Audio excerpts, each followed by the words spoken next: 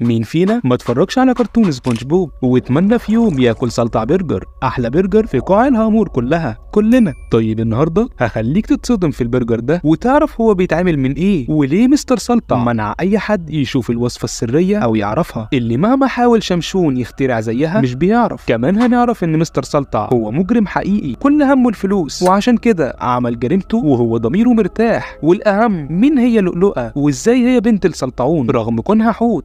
وفين أبوها الحقيقي؟ يلا نبدأ. في أكتر نظريات كرتون سبونج بوب سوداوية. في كرتون لأن المؤلفين والرسامين عارفين اللي بيتفرج أطفال ولازم الأطفال عشان تتعلق بشخصيات القصة وتحب تتابع الكرتون. لازم يكون في قالب ثابت عن أي شخصية بيتميزوا عن باقي الشخصيات مش بس الشكل. وده اللي بنشوفه في شخصيات سبونج بوب اللي بيمثل حياة بحرية لكائنات البحر. فتلاقي مثلا سبونج بوب هو معروف إنه طيب وبيحب يساعد ويهزر ويضحك وشفيق واحد انطوائي بيحب العزلة والجدية. وبيكره الصوت العالي. وبسيط. صديق سبونج بوب الغبي. لكنه بيحب سبونج بوب جدا. وبيحب يقعد ويلعب معاه. وهكذا. كمان شمشون. اللي هدفه في الحياة يوصل للوصفة السرية اللي هتحقق له الغنى والنجاح. ومستر سلطع طماع الفلوس. والبخيل في نفس الوقت. اللي منع شمشون إنه يوصل لوصفته السرية اللي هي سر شهرة ونجاح سلطع برجر. وده بيأكده الكاتب في كل حلقة من الكرتون. عشان ما يحتاجش الكاتب يعرف كل شخصية لفظيا. هو بيعرفها فعلا. لكن من خلال احداث الكرتون. في كرتون سبونج بوب دايما هتلاقي إن كل شخصيات الكرتون ليهم آباء وأمهات شبههم. يعني مثلا سبونج بوب أبوه وأمه شبهه. وبسيط برضه أبوه وأمه شبهه. وشفيق مامته حبار زيه. ده حتى مستر سلطع لما ظهرت أمه في الكرتون كانت عبارة عن سلطعون. وده معناه إن الكاتب أكد على الناس إن دول آبائهم بدليل إنهم شبههم.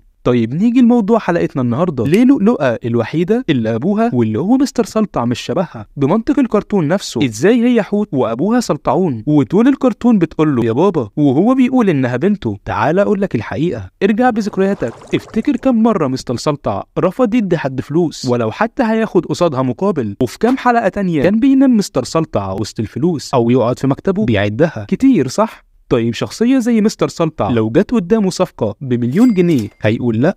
أكيد لا. ده معناه إن مستر سلطع ممكن يعمل أي حاجة بمعنى أي حاجة عشان يوصل للفلوس. طيب إيه هي الوصفة السرية اللي هي سبب نجاح مستر سلطع مصدر دخل مستر سلطع الأساسي. هو مطعمه. مقرمشات سلطع أشهر مطاعم قاع الهامور. واللي ما محاول شمشون يقلده بعلمه واختراعاته مش بيعرف. وليه شمشون هدفه في الحياة يوصل للوصفة السرية كده؟ بعض الناس بتقول إن مستر سلطع قتل عيلته كلها وعمل من لحمهم سلطع برجر. عشان كده ما ظهرش سلطعونات غيره طول حلقات المسلسل. وده يا صديقي مش حقيقي لأنه ظهر سلطعونات كتيرة أثناء الحلقات. وده بيقول إن برضه الوصفة السرية مش هي السلطعونات طيب منين اللحم اللي بيتعمل منه البرجر؟ النظرية بتقول إن البرجر هو لحم الحيتان. طبعا أنت مستغرب شوية بس خليك معايا للآخر. شفيق في الموسم الثالث سبونج بوب خلاه يدوق سلطع برجر لأول مرة وأول لما أكل منه أدمن عليه وما قدرش يبطل ياكله. وفي نفس الحلقة ظهرت خزنة ضخمة جدا. لما شفيق بيفتحها بيلاقي مئات السلطع برجر. اللي جاهزه للأكل. يعني ليه مستر سلطع يخلي سبونج بوب يطبخ آلاف السلطع برجر ويشيلها في الخزنة دي؟ النظرية بتقول إن مستر سلطع هو اللي قتل أم لؤلؤة وإن سلطع برجر معمول من لحمها ومستر سلطع عشان يداري على جريمته دي عمل مطعم يبيع فيه لحمها. لكن لقى بعد كده إن الموضوع مربح وخلاه غني جدا. طبعا ده سبب رئيسي إنه يخبي الوصفة السرية عشان خايف على فضيحته. لما شاف مستر سلطع بعينه قد إيه بقى غني وهو عايز يستمر في الثراء ده اخد لؤلؤة بنتها عشان يربيها وتكبر. وهي فاكراه أبوها. أصل مش معقول واحد بالأنانية دي مثلا هيروح يربي حوت ويتبناه. وطبعا لما يخلص لحم أمها هيجي الدور على لؤلؤة. طبعا سامعك بتقول وكل السنين دي يعني لحم أم لؤلؤة ما خلصش. هقول لك لأن الحيتان بعيدا عن الكرتون حجمها ضخم جدا واللؤلؤة أصلا في الكرتون بنلاحظ تصرفاتها الطفولية جدا. وبما إننا قلنا إن الكاتب دايما بيعرفنا على الشخصيات من خلال أحداث الكرتون نفسه فده معناه إن لؤلؤه طفلة صغيرة وإن كل ما تكبر أكتر كل ما هيكون لحمها أكبر. عشان كده لؤلؤه كل طلباتها مجابة فهي مصدر رزقه من الآخر. هو حرفيا بيدللها زي ما المراعي في أوروبا بتعمل مع الأغنام والحيوانات وده معناه إنه بيعامل لؤلؤة كده عشان يضمن إن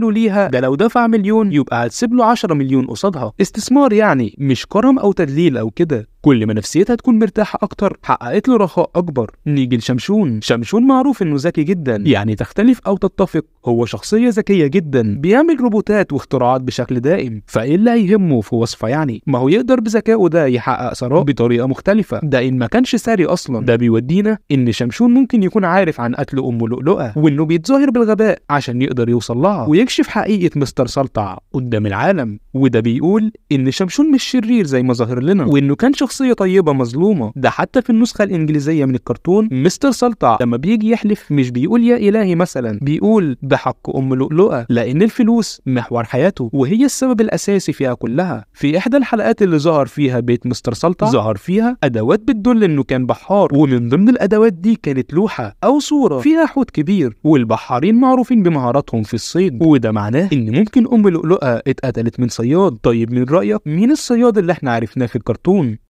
الصياد هو مستر سلطع والدليل في بيته هو كل الأدوات الخاصة بالصيد والبحر. واصلا خلال حلقات الكرتون بيظهر أصدقاء مستر سلطع القدامى واللي هم بحارين زيه وإن مستر سلطع كان مشهور في الأساس كبحار وصياد.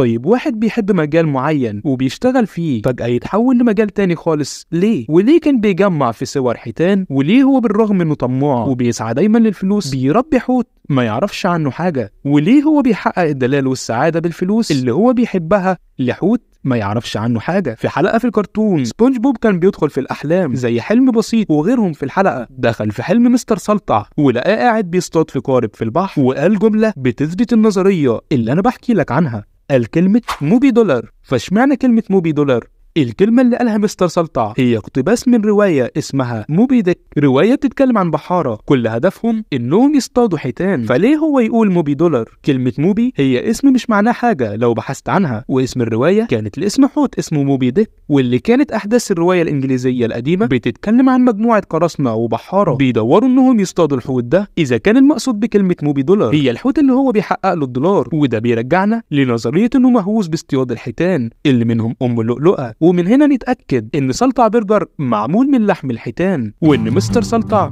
هو اللي قتل أم لؤلؤة طيب فين أبو لؤلؤة؟ تعالوا كده نرجع نفكر. هنلاقي مفيش ولا حوت شبه لؤلؤة. إن الحوت السجين واسم نوع الحوت ده هو sperm whale وهم الوحيدين في الكرتون اللي شبه بعض. في أحد الحلقات من سبونج بوب حلقة الهروب من السجن كان شمشون واللي معاه في الزنزانة كانوا عايزين يهربوا من السجن عشان يقدروا يسرقوا وصفة سلطع برجر. في أحد الحلقات كانت لؤلؤة نايمة على السرير وكانت وراها لوحة لحوت بيتسلق الأمواج بمهارة. وكانت اللوحة شبه أبو لؤلؤة اللي هو في السجن. طبعا فكرة إن حد يحط صورة حد جنب سريره ده دليل إن هو بيحبه لدرجة إن هو عايز لما يفتح عينيه يشوفه. فممكن إن هو يكون أبو لؤلؤة الحقيقي فعلا زي ما بتقول النظرية. في الحلقة كمان بتاعة الهروب من السجن كان الحوت هو الوحيد اللي متحمس إنه يساعد شمشون في إنه يهرب من السجن ويسرق الوصفة. كمان هو الوحيد اللي كان بيساعد بدون أي مقابل والوحيد اللي كان متحمس ومتعصب في نفس الوقت إنه يسرق الوصفة السرية. كأنه عايز يفضح مستر سلطع عشان يقدر يخرج من السجن ويعيش مع بنته تاني. طيب السؤال بقى ليه أبو لؤلؤة أصلا في السجن؟ يعني إيه هو اللي عمله؟ عشان خاطر يدخلوه السجن. فالنظرية برضو ما سابتش السؤال ده من غير إجابة وده معناه إن مستر سلطع بعد ما قتل أم لؤلؤة أبوها عرف وحاول يكشف الحقيقة. لكن مستر سلطع كان أسرع منه ولفق له التهمة دي عشان يدخل السجن مكانه عشان يطلع مستر سلطع قدام العالم إنه شخص طيب وعطوف عشان بيربي بنت مش بنته. ويكشف الحقيقة بتاعت جريمة مش حقيقية للعالم. فالناس كمان تحب مستر سلطع ويتشهر أكتر في الكرتون. وطبعا مستر سلطع خبيث وذكي جدا عشان يقدر ينجح في الخطة بتاعته دي. طبعا أنت دلوقتي بتسأل. يا ترى لؤلؤة. تعرف إن أبوها قتل أمها على حسب القضية. اللي اتلفقت لأبوها ولا لأ؟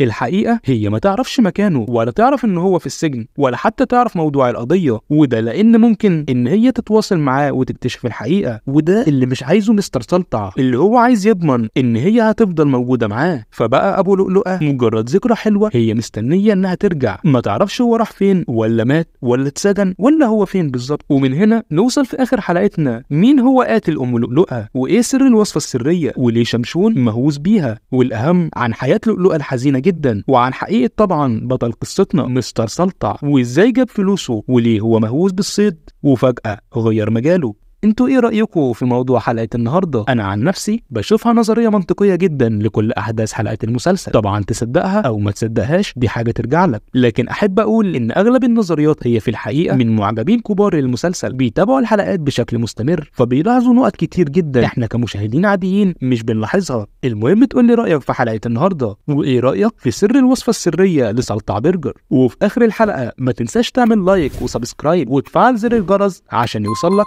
كل جديد. سلام.